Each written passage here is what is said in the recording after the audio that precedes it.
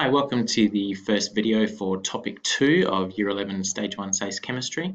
This uh, topic is called Combining Atoms and uh, this first video is going to be probably a little bit shorter. I'm just going to give a quick introduction to different types of um, structures we can have and now I'm going to talk quickly about ionic bonds.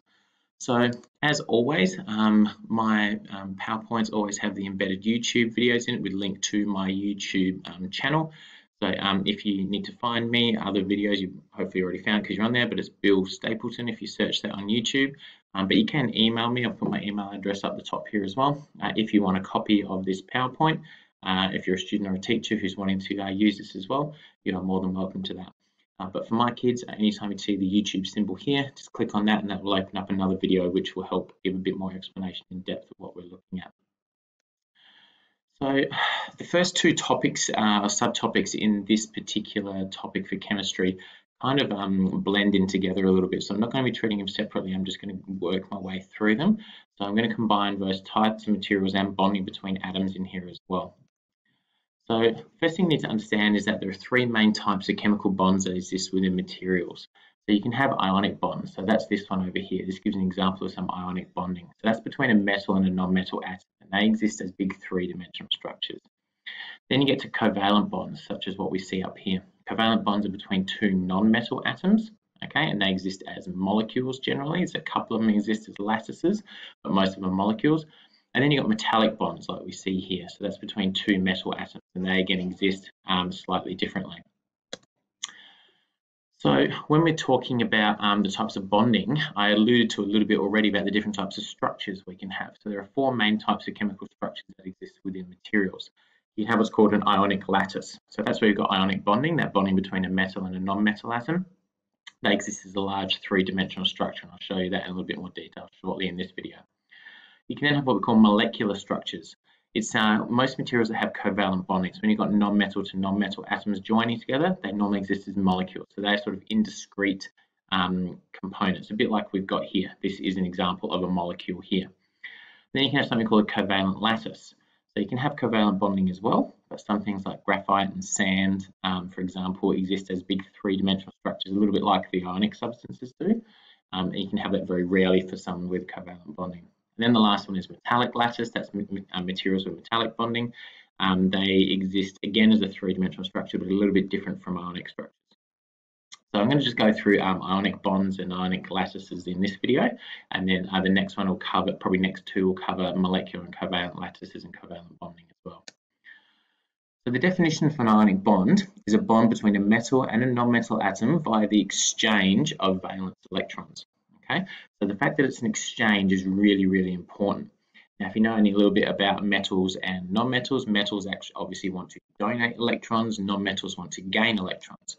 And so when we actually have um, two atoms that come together here, all right, um, what they do is the metal will actually donate its electron over to the non-metal. So going to keep an eye on here. I've got sodium over here and I've got fluorine here.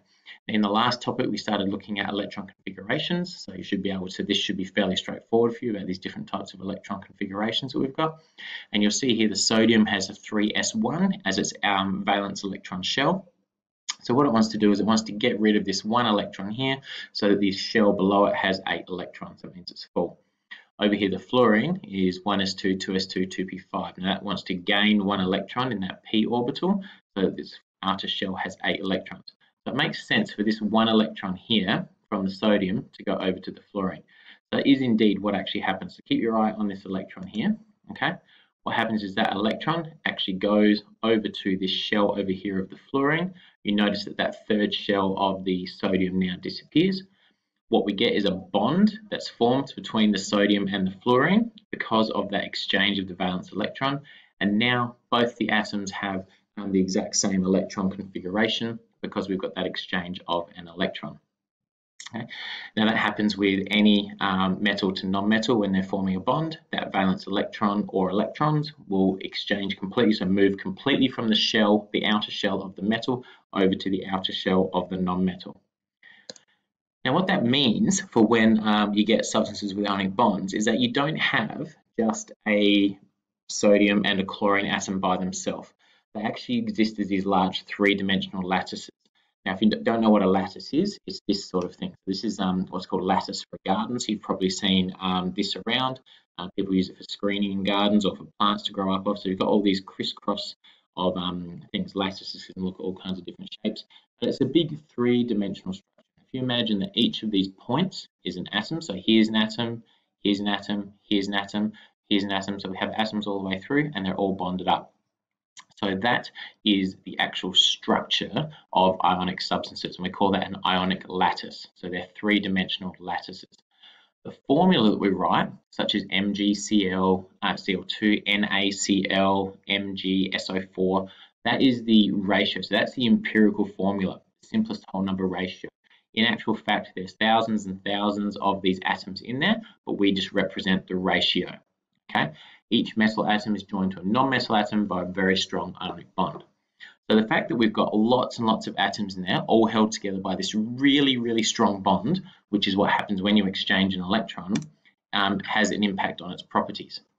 So because there are lots and lots of strong ionic bonds, they require large amounts of energy to break. So every time you want to break a bond, you have to put energy in. So because there's lots of bonds and there's strong bonds, we need lots of energy that means they're going to have very high melting points. Okay, so that because they've got high melting points, it means they're going to be a solid at room temperature. Now, when we saw the exchange of the valence electron from that sodium over to the fluorine, okay, we saw that there was no free electrons. All the electrons were found inside the shells of those um, atoms.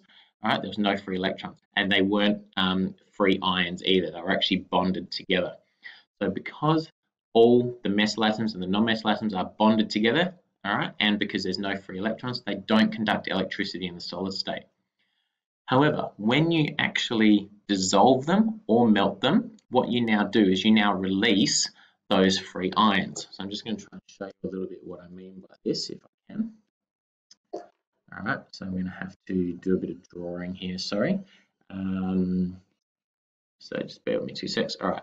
So let's say, for example, we have a sodium and the chlorine. So we have that bond between them. Okay.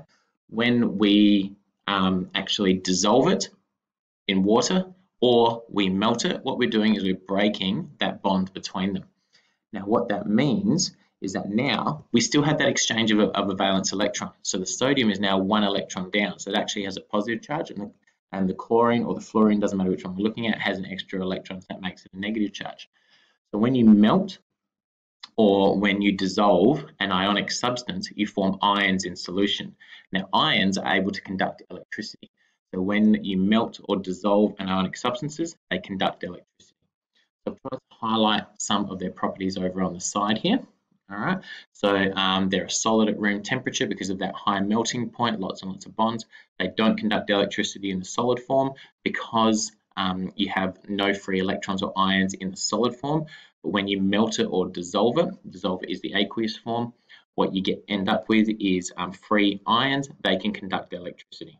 So that's a brief introduction to different types of bonding you can have. Um, ionic bonds, which we've looked at in this video, covalent bonds and metallic bonds, and the different types of structures you can have you have ionic lattices, again, that we've gone through in this one, covalent molecules, and um, covalent lattices, which we'll look at in the next couple of videos, and then finally metallic bonding with metallic lattices that we'll look at in probably one of the last videos of this topic. So hopefully um, this has been a good introduction. Um, you might want to go back through, just make sure you've got all the properties of ionic substances in your head and before you move on to the next one. Thanks guys.